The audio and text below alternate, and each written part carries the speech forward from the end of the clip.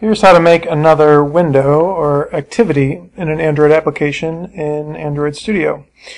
We're going to go to the folder where you can find, or the directory where you can find the other activity, right click, do add activity, and get the same screen you got when you were first creating the project.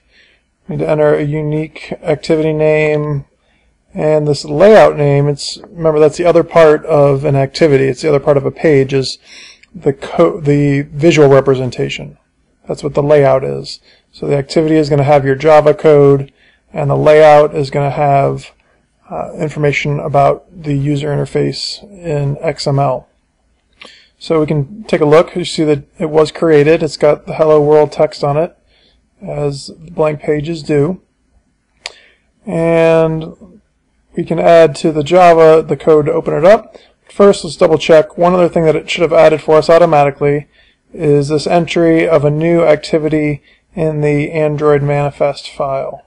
And it made that for us automatically, so that's very nice. So we're ready to go. That's so the project knows about all the activities um, that are going to be used. So we just need one line of code to, instead of changing the text when the button is clicked, we want to open up our new page. And this is the code that does that. And we can test it to make sure it works.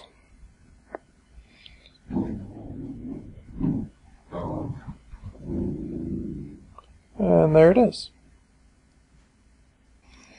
Here's how to make another